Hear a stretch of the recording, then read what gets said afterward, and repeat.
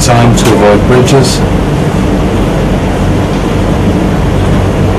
Bridges, just for an explanation, are when two pins can be soldered together. When the solder crosses two points, it forms a bridge.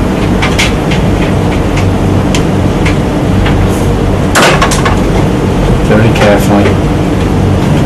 Cleaning your soldering iron.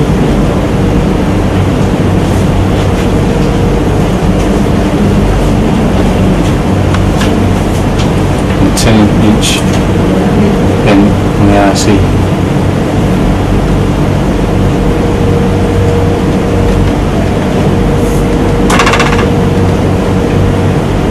People will tell you that you need expensive components for this job. You can do it with just a soldering iron.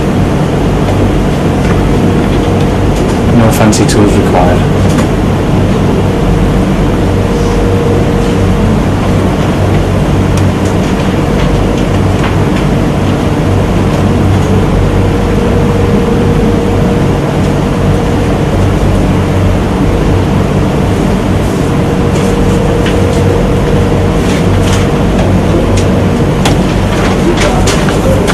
Take your time to make all pins are evenly tinned.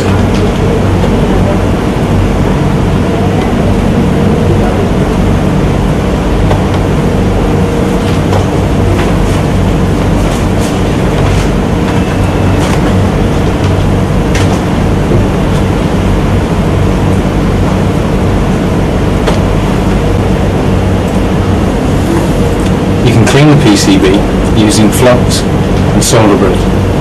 Solder braid is probably one of the most useful tools that you'll find in this trade. The braid soaks up the solder and assists you in cleaning up the pads.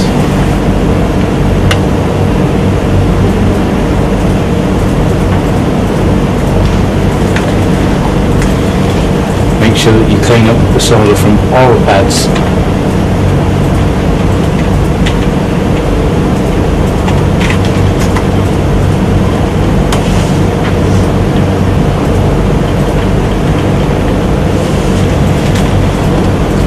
importance of cleaning all the solder will develop and you will see when the time comes to resolder. When you're applying new solder, the solder bonds better if the contacts are clean. If the contact is not clean, the chances are you'll get a dry solder joint.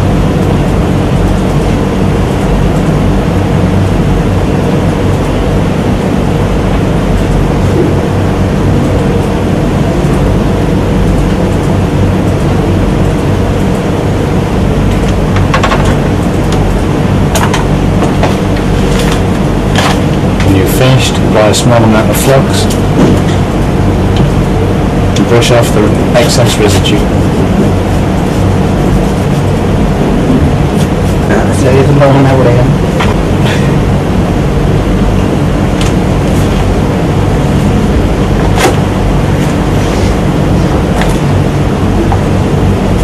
We're now ready to solder or resolder the IC pin back into place. You can align this up using one of two methods. The first one is that there will actually be physical markings either painted on or printed on the circuit board and the chip. In this case they are indicated by zero and by dots.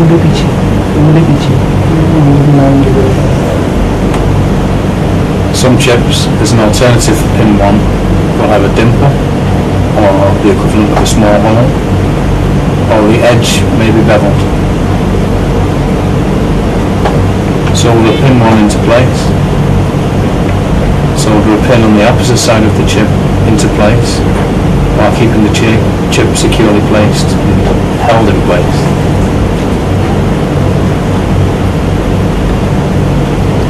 You can then proceed can to solder all the pins into place, making sure the sol- the solder is evenly spread from the sol- so- solder pads onto the contacts.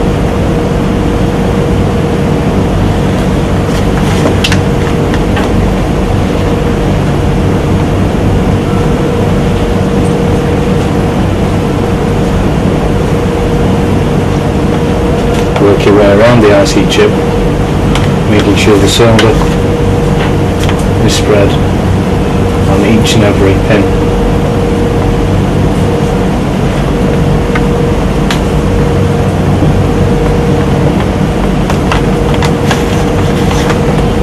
This job demands time and patience, but anyone is capable of doing it. All it takes is a little practice.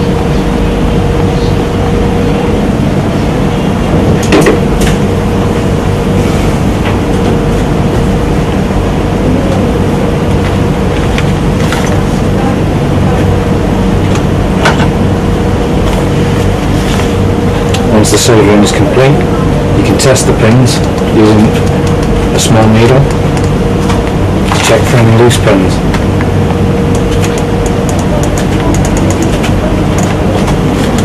Run your needle over each and every pin.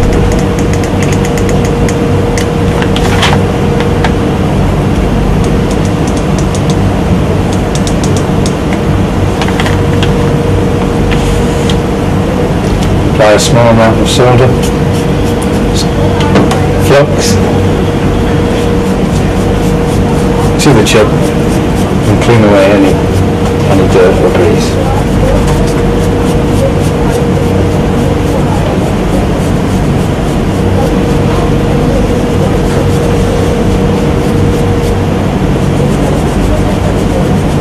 Make sure the board is clean and dry.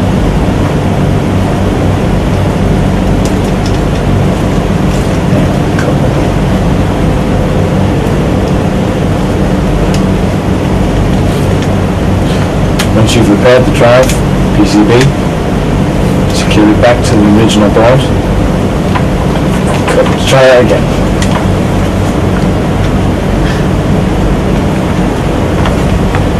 Once you've finished your soldering, you can attach the PCB back to the hard drive and test it for detection.